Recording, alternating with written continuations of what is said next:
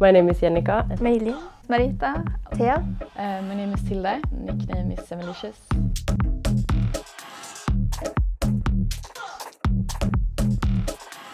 We're a pretty new team, uh, but the reason why we wanted to make a team together is because we all know each other from before and we know the skill on each other and we played together before, so we just thought that it basically be a perfect fit.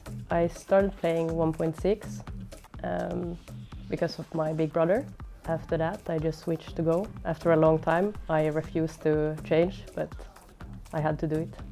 I've been playing with Jennica, uh, Astra and Mini before. We all played with each other except Tilde.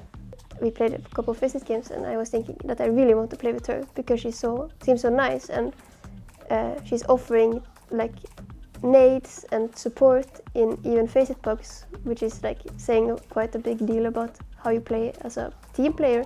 I think the biggest strength uh, in our team is that we all can do basically everything.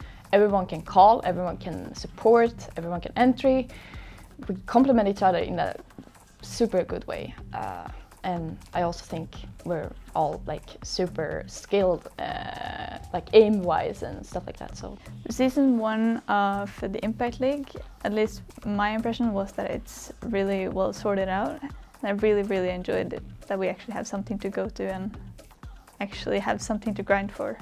I think our direct rival is Nigma because they are literally the first team, and we want that spot. So my hopes for the future is that this team is going to be the number one team within a year and that we're going to stay together and keep grinding and just become the best.